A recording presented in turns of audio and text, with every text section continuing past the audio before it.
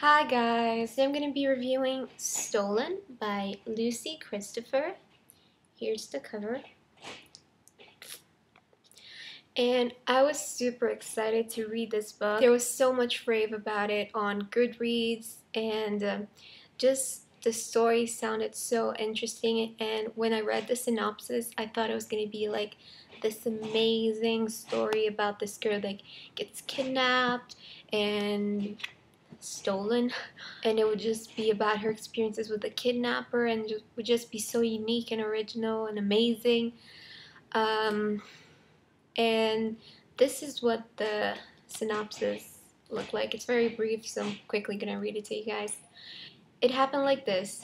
I was stolen from an airport, taken from everything I knew, everything I was used to, taken to sand and heat, dirt and danger, and he expected me to love him. This is my story, a letter from nowhere. And when I read that, I was like, this is so original and unique. I can't wait to get this book. But this book was a disappointment. I gave it two stars out of five. It was just such a dragging story and she was such an ordinary girl. There was nothing about the main character, Gemma, that made me feel sympathy towards her or made me feel anything towards her. She was so blah. Now, the kidnapper, on the other hand, and this is the weird part, he was the interesting character.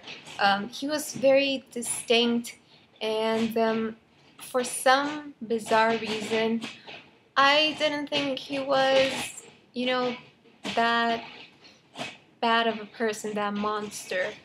Um, and it was very frustrated to see how Gemma reacted to um, her situation being kidnapped and I know, I mean, it must be frightening to be kidnapped, and um, I understand why she would be so stubborn, and in a way, I can understand why she would react the way she did.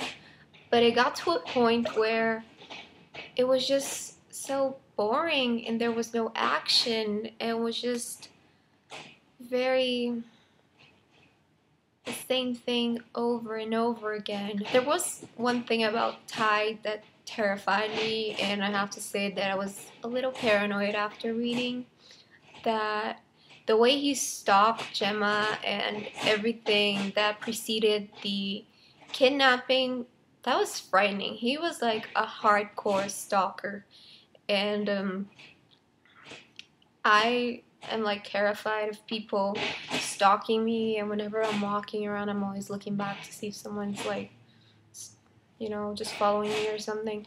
So that freaked me out a little bit more than it already does. Yeah so as much as I like Ty he was undeniably crazy so yeah I wouldn't really recommend this book I think it didn't impact me in any way and four fifths of the book, I was just like, oh my god, some action, so boring. And I don't like books like that. I don't think anyone does. The book was way too descriptive, like way too descriptive. And I love books that have a lot of description, but this book exceeded the normal acceptable description in books. It was just like too much and it was just description all the time and that's just too useless to have description if nothing's happening. But then again, on Goodreads, the average rating for this book is 3.98 stars, so practically 4 stars. So even though I, I gave this book 2 out of 5 stars, clearly some people out there like this book. So if you feel like buying this book and reading it, then do. I'm sure um, some people like this book. I didn't at all, but you might be one of the people that do like this book. But keep in mind that this book is very descriptive. Gemma is a really one-dimensional, immature character and um, this book really didn't impact me in any way. So yeah, this was my first negative review on WeReadBooks, and um, I don't like giving negative reviews, but I also don't like reading books that are not enjoyable.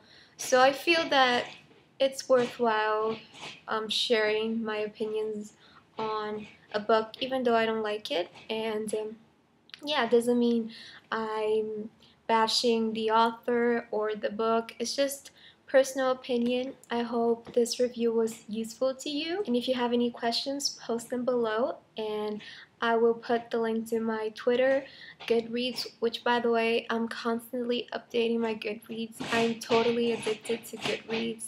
I love it. And um, also to my personal YouTube channel, so if you want to check those out, please do. And I'll see you guys next time. Bye.